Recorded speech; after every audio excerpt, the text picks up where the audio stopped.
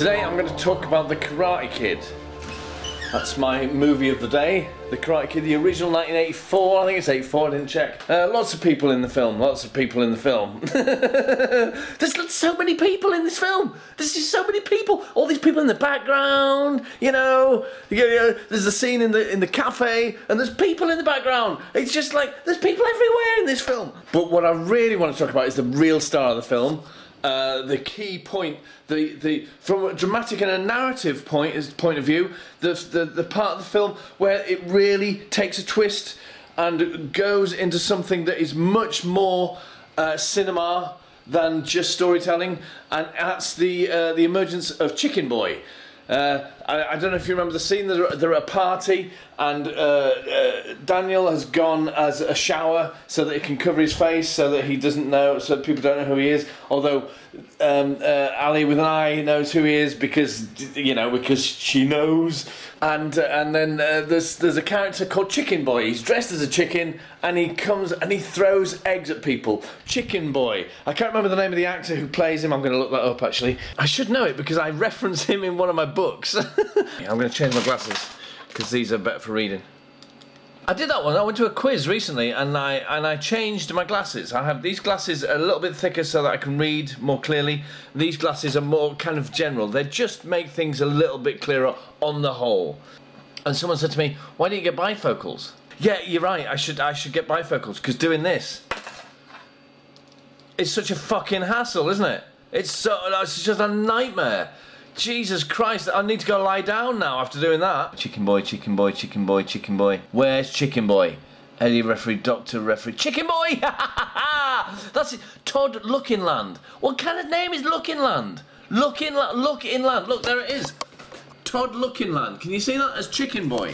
Just extraordinary performance. The man should have won an Oscar for Chicken Boy. He's known for Men in Black, Matrix Reloaded, Star Wars Episode 1. He's, you know, he's such a big star that he's not, in his list of achievements, Karate Kid doesn't even make it.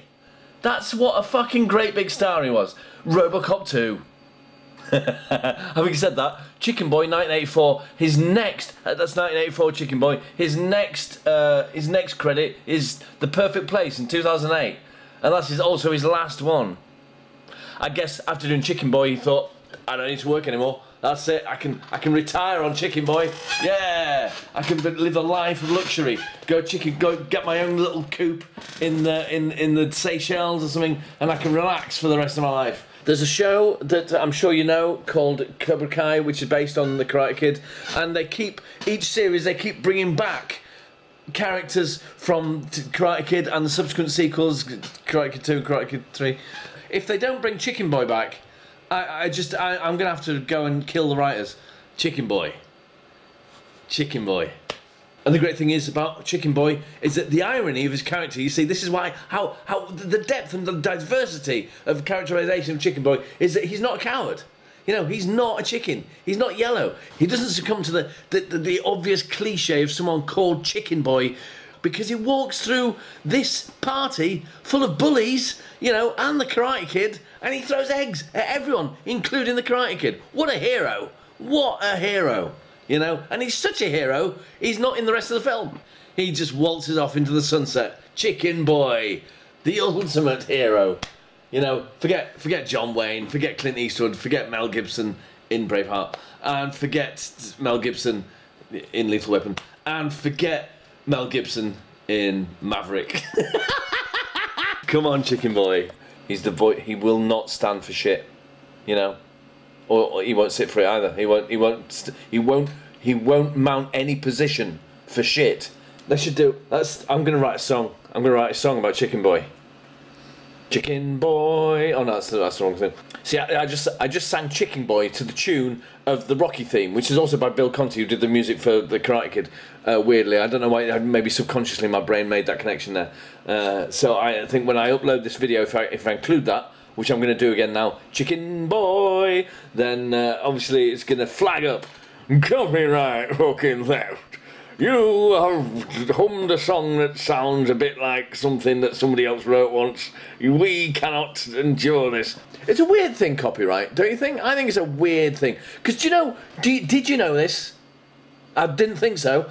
Did you know that back in Mozart's time, there was no such thing as copyright. People would nick each other's ideas all the time. People would write. That's why you get something like um, uh, the the oh, who's it by? I think it's Rachmaninoff wrote a piece called uh, um, Rapture on a theme of Paganini, and it's a piano piece.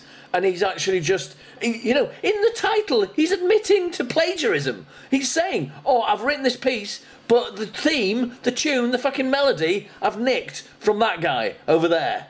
And he can't do a fucking thing about it because there's no such thing as copyright law yet. And back in those days, it was perfectly fine. It was perfectly fine to steal each other's stuff and write your own version.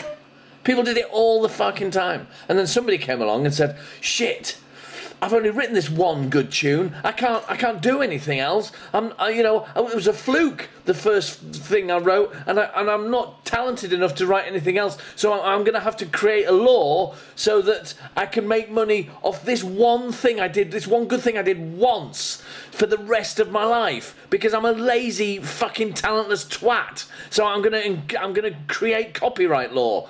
For fuck's sake, Shakespeare. What a fucking waste of fucking space he was. Do you know what? I used to hate Shakespeare. When I was at college studying drama, studying performing arts, and everything was Shakespeare, Shakespeare this, Shakespeare that. Shakespeare did everything. Shakespeare done all the stories. You know, Shakespeare, Shakespeare, Shakespeare, Shakespeare, Shakespeare. That was my reaction to Shakespeare. Frequently. Shall I compare thee to a summer's day? Shakespeare often quoted, and usually. Mm, often, like I think they do it in Doctor Who and, and, and some other things. It's kind of an ironic where somebody sort of pretending that they've made it up. It's in the Dead Poets Society, I think someone says it, and they pretend that they've made it up. If anyone ever says that to you, shall I compare these to a summer's day? The correct answer is no. No, you shan't. You shan't compare me to a summer's day because a summer's day is a fucking ordinary thing. A, a quarter of the year is filled with summer's days. Summer's days are things. It's a day in the summer. It's not. It's not like I'm a fucking blue moon or a or a, or, or a, a rare plant that only grows every thousand years or something. It's a summer's fucking day. Happens every fucking year. It happens for like I, I don't know, nearly a hundred days a year. It's a summer's day. It is not extraordinary. You know, that's like me going up to a girl and saying, Shall I compare thee to a fucking wall? Shall I compare, because there's, cause there's four walls in here, shall I compare you to an east facing wall? Yeah, yeah. Will you go to bed with me now? It's just fucking, what is this bullshit? Shall I compare thee to this chair rather than the other three? Because this one is a, summer's chair. I sit in this one in the summer. Shall I compare you to that? Shall I? Shall I? No! Thou shalt not! I'm paraphrasing slightly here. I think it's, shall I compare these to a summer's day? Thou art more lovely and more temperate. I should think I am more lovely than an ordinary thing.